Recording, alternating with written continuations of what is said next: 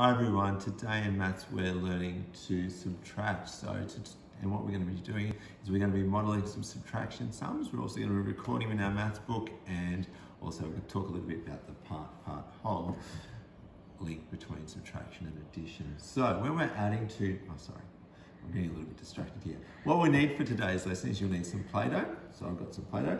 Or if you haven't got any there, make someone, which we made this morning. All you need is a couple of uh, cups of flour, some salt, a bit of colouring, and you can make your own Play-Doh fairly easy too. So what we've done, yeah, so what we're going to be doing is subtraction splat. So what we need to do is we simply model some subtraction sums. So I'm going to start with eight balls. Do you want to just start with eight balls, Amy?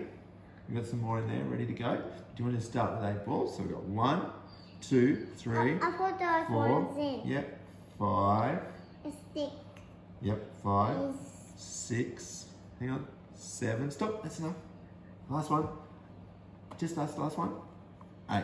Okay, we'll put that over there for a sec. We got eight, we got one, two, three, four, five, One six, more. seven, eight. No, no, we only want eight. And then we're gonna splat some. So what we're gonna do, we're gonna give squash some. How many do you want to squash? How many, what? before we go, how many you gonna squash?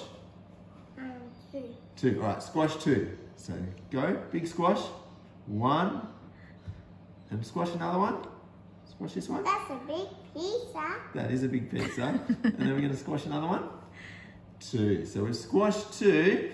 How many have we got left, Dan? Let's count. One, two, three, four, five, six. Hang on. Yeah, we can do one more in a minute.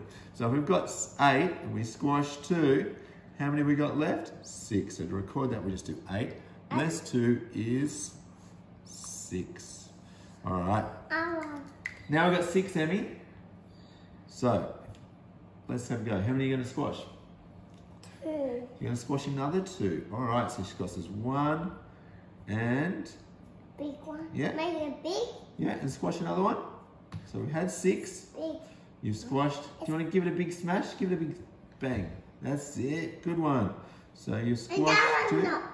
How many have we got left now, That's Em? not big as that one. No, it's not bigger. But how many we got left? We've got one. Bigger. Yeah, thank you. Two. Yeah, perfect. So now we've got one, two, three, do that one. four left. So if we had six and we squashed two, how many we got left? Don't squash anymore. Ah, too bad.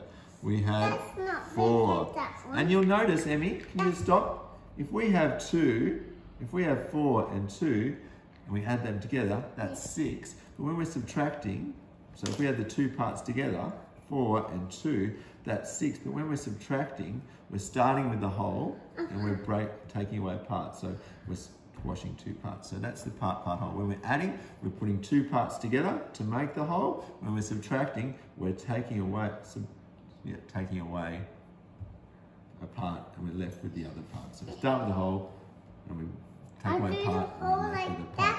If you would like to extend yourself a little bit, you might like to do some bigger numbers like 12 or in the teen numbers and subtract some.